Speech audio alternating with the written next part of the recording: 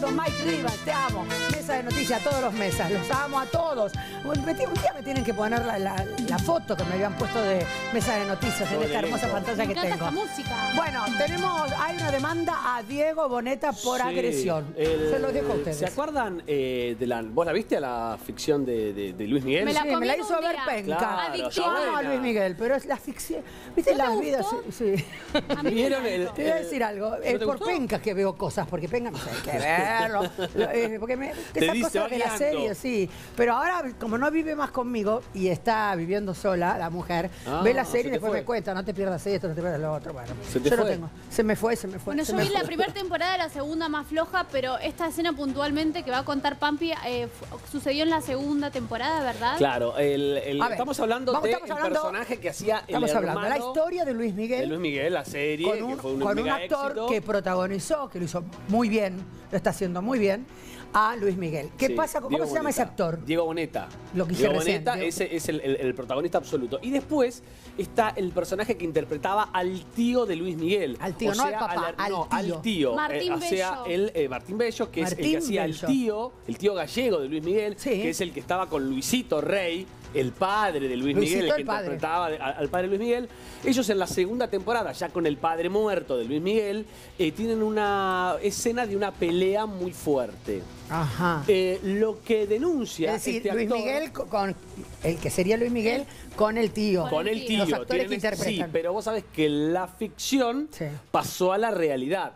Como pasó? tienen esta escena, mira, ahí vemos unas, unas fotos de esa escena que ellos hacen como. Ah, no, la parecido está. Luis al papá de Luis Miguel, ¿no? Eh, Son parecidos los hermanos. Como, como tienen una escena de pelea, aparentemente a Boneta se le fue la mano Uy. y lo agredió de más a este actor. En acción, En acción, o sea, de hecho, dice que había cosas que no estaban coreografiadas. Se le dice sí, coreografía totalmente a, porque cuan- a las cuando. ahí peleas está la se escena. ensayan, Esta es la como escena. en- eh, se ensayan en cámara Esa lenta la y con escena. coreografía. Ya estamos viendo la escena, En Carmen. esa escena del cuello. Eh, esa el- escena, eh, Luis Miguel o Diego Boneta Sí. le eh, rompe una cadena que tenía este actor, lo golpea además, de hecho él quedó con lesiones eh, y eran cosas que no estaban marcadas por el director.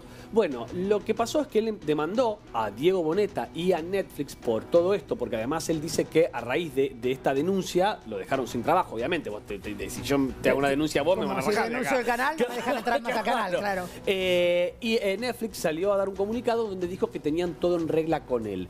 Este actor salió en la revista TV y Novelas, una revista muy famosa de México, Sí. a decir de que era mentira lo de Netflix, que él, eh, digamos, que no, no habían cumplido en nada con él, que cuando quisieron cumplir le dijeron, bueno, vení, te vamos a pagar lo que gastaste en médico, pero tenés que firmar acá Estamos para hablando decir del que hacía del del tío, de Martín Miguel. Bello es el Tenés que firmar acá para que eh, renunciar a cualquier reclamo futuro. Obviamente, este actor, Martín Bello, decidió no firmar y continuar con la demanda. Bello es argentino, es mexicano. Es argentino, pero estuvo eh, trabajando mucho tiempo afuera. Ah, pero es Te agrego argentino. un dato, el director no aceptó poner un doble de riesgo, porque en general esas escenas cuando son fuertes son con un doble. Sí, pero cuando hay tantos el primeros director- planos Tal y vez tan no. cortos los planos, no puedes tener El un director doble. le que- dijo que como iba a ser tranquila la escena, que lo podía hacer, él tenía protección, tenía unas coderas Claro. y, y una carcasa en la espalda, marca pero, todo en pero esas no escenas. alcanzó porque no salía bien la escena. El Claro. director le decía, no, no sale bien, entonces No pedía salía un poco- natural. No salía natural, pidió más intensidad y por eso Diego Boneta se le fue la mano y le pegó de verdad. pegó de Hay fotos donde Hay él fotos muestra donde que cuando... tiene lesiones y todo. Dice, ¿sí? al, principio sí, no sí, sí. sentía nada, después empezó con un dolor bárbaro, no podía dormir.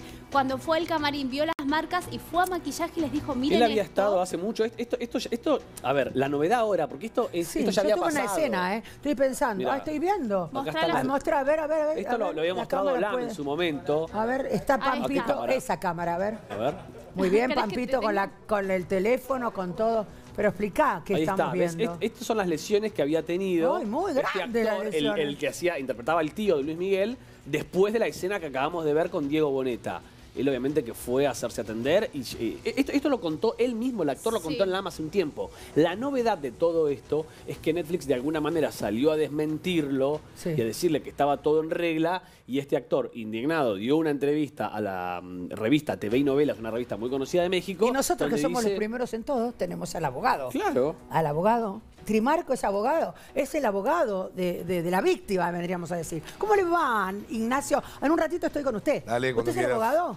Así es, el día de ayer por la noche se comunicaron con mi jefe de prensa, Diego Suárez, Sí. para empezar a trabajar sobre esta cuestión, dado que, a ver, él tenía un abogado hasta hace un tiempo, Sí. pero no estaba conforme por los resultados. Claro. Así que, bueno, se contactaron el día de ayer y hoy justamente estamos encarando toda la acción, tanto sea contra Netflix, Latinoamérica, Sí. y contra el actor propiamente. Difícil el tema de Netflix, hay que meterse ahí, ¿no? sí. Bueno, ahora me siento. Ah, nos Dale. sentamos los tres y ¿Sabés vamos a charlar. Lo- el- el- gracias, el gracias peor- por venir, Nacho. No, la por peor favor. lesión cuenta Martín Bello que fue en el cuello. Estuvo ¿Ah, con sí? cuello ortopédico Claro. porque cuando contaban lo de la, sacudido cadenita, del cuello. yo decía que No se se te cuenta. una cadenita sería Sí, lo de pero tenía menos. un valor sentimental la Bueno, pero se la podría ¿no? haber Muy sacado del antes de, de la. De En última, ese en una pelea habría que sacarse una sería cadena lo de menos y la anillos cadena. porque Sí, te sí, puedes sí, lastimar. sí, sí, sí. Yo tuve, yo, yo tuve un problema con Javier Portales, al cual amo, mi querido gordo Javier, lo amo. Este,